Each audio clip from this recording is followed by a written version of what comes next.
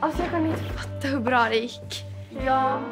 Hela salen var ju full och efteråt var det jättemånga som kom och sa att det var det bästa de sett på länge. Indian, here we come. Alltså du kan ju bo på lyxhotell så mycket pengar som vi har fått in. Nej, jag tycker man kan göra något bättre med pengarna. Kalinda sa att det finns mycket man kan göra i deras by, som att plantera träd och investera i vattenrening. Bra jobbat alla!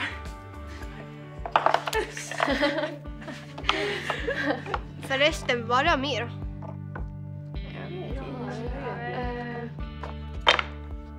Så vad tyckte Aron om, om att du var på dejt med Alexander? Fastän att jag på Burgers kallade det för dejt. När jag sa inget till Aron att jag skulle på dejt med Alexander. Jag ville bara se om han på riktigt väl flickor vill ha.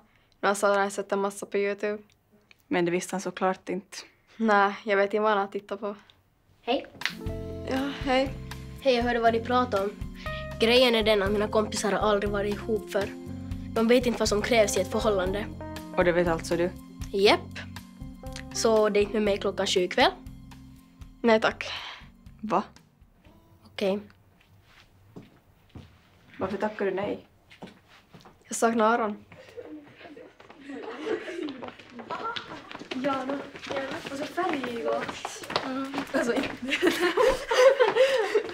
Hörni, lektionen börjar nu. Men alltså Amira är inte här, hon är aldrig sen. Och svara inte på telefonen heller.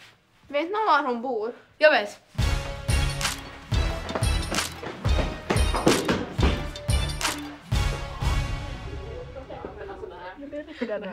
Men var i all världen är alla?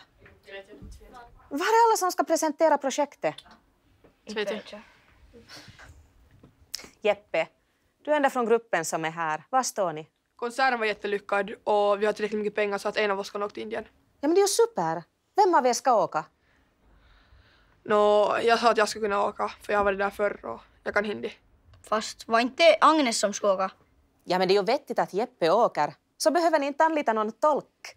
Men vi ska ta rasten och kolla flygbiljetter och boka någonting. Jag ska ta och prata med dina föräldrar. Låter bra.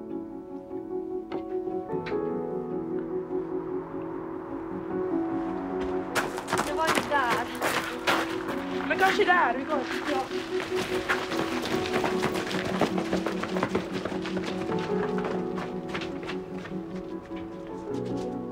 Men shit vad kul att du får åka till Indien.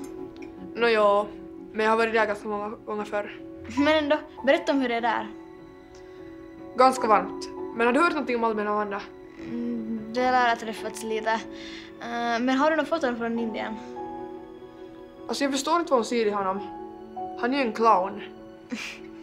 Mm, nog är han ganska rolig. Är roligare än jag då?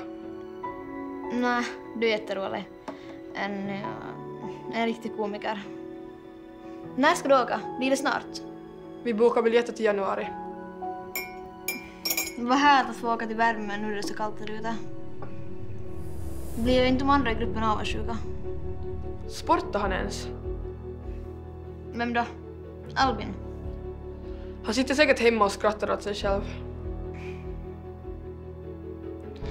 Okej, det här funkar inte. Va? Du har helt klart inte kommit över Amanda.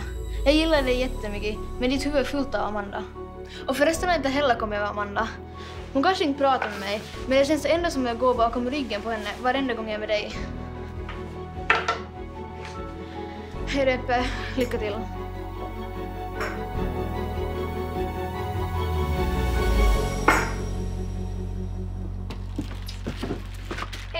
Hej då. Vi syns. Ja. Hej Aron. Hej. Hej. Vill du komma och se på hockey? Jo!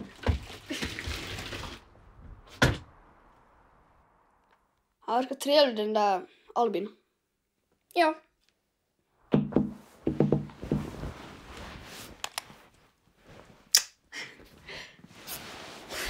Han gör allt för mig. Han gör just min matte liksom.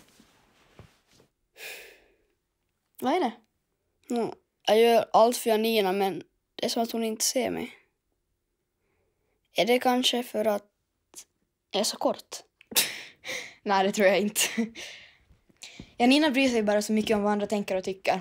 Bara hon ska känna efter lite själv så ska hon märka att hon har allting hon behöver rakt framför sig. Och varifrån har du stulit den där, den där repliken då? Eh, jag tog den från Riverdale. Ja, det, det är en bra serie. Mm. Mål! Yes. Tilde i min klass är kär i mig. Hon verkar ju snäll. Jo. Och vi är som samma nivå. Ja, så det är mentalt. Nej, jag menar som... Ja, höjden. Ja. Tycker du om till det? Ja, hon är snäll och hon vågar göra det som hon har lust med. Utan att bry sig om det är barnsligt eller inte. Mm, jag är trött på att låtsas vara någon som jag inte är. Aron är bäst när Aron är Aron. Om hela världen skulle vara som du så skulle världen vara en bra plats. Och den där repliken då? Från mitt hjärta. Och kanske lite från Bamsen. Vilken av dem? Häxan Hia Hia. Ja. Jag tycker mer om mul- äh, Bamse i Mul- Mulleskogen. ja, den har jag inte sett.